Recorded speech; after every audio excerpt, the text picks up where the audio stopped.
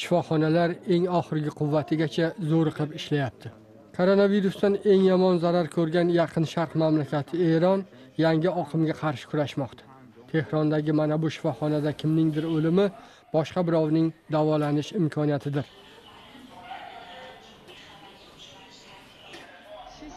Mana bu ayol shifoxonaga yotqizishlarini olti soat kutishga majbur bo'lganini aytadi.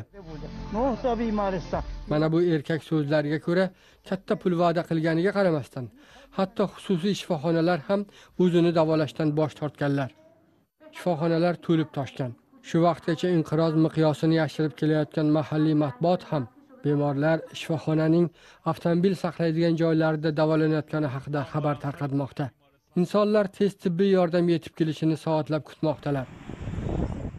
Odamlar mikrofonga gapirishga qo'rqishadi. ammo mana bu bemor uch yarim soat yo'l yurib boshqa bir shahar shifoxonasiga yotqizilganini aytadi.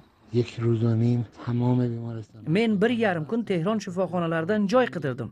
Meni hatto doktor masih donishvariy shifoxonasi avtomobil qo'yadigan joyga ham kiritishmadi. Tehron shifoxonalaridan joy topolmay taksiga o'tirib boshqa shaharga keldim. Oxirgi yuqish hollari ko'payganiga qaramasdan eron diniy marosimlarni taqiqlashdan voz kechmayapti. mana bu tehrondagi muhammad payg'ambar va she imom vafotini xotirlash marosimi tasvirlari. Bu marosimda insonlar orasida masofa saqlanmayotganini yaqqol ko'rish mumkin. Shiyalar uchun eng muqaddas maqbara joylashgan mashhadda komendantlik soati buyurilgan. Ammo maqbara hamon ochiq. Hukumat berayotgan mujda ham mujmal.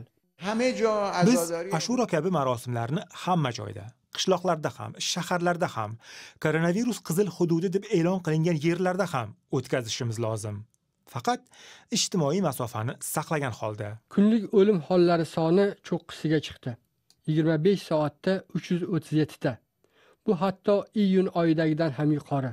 Ammo kuzatuvchilar rasmiy raqamlar haqiqiy manzarani aks ettirishiga ishonishmaydi. Hozir tehronda yuz niqobini taqish majburiy. Ammo ertalabki ishga shoshar soatlarida yo'lovchilar izdihomi yuzaga keladi. Niqob taqmagan yoki o'zini yakkalamaganga jarima joriy etilgan. Ammo hukumatdan dastak yo'qligi uchun insonlar ishini yo'qotishdan qo'rqadilar. Eronning qator shaharlarida tungi cheklov soatlari joriy etilgan. Ammo odamlarni uyda qolish dastagisiz bunday sharoitda eron inqirozni qachon yengib o'ta olishi noma'lum.